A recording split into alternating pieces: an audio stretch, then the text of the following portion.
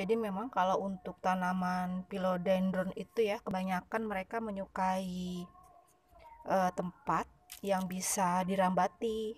Misalnya saja tiang tanaman seperti ini atau kalau ada juga kayu pun bisa kok.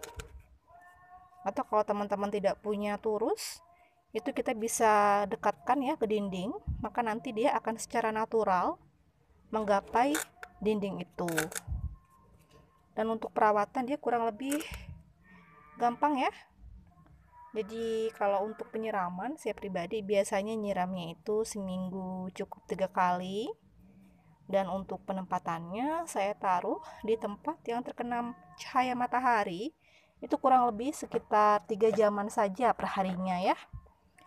Dan untuk perbanyakannya juga gampang ya. Ini kita bisa lihat ya kalau dia punya akar yang gondrong sekali dan kalau misalnya mau diperbanyak tinggal dipotong lalu bisa ditaruh dulu ya di dalam air sekitar 2 sampai 3 minggu maka dia akan mengeluarkan akar-akar yang panjang seperti ini ya. Baru setelah itu bisa kita taruh ke dalam pot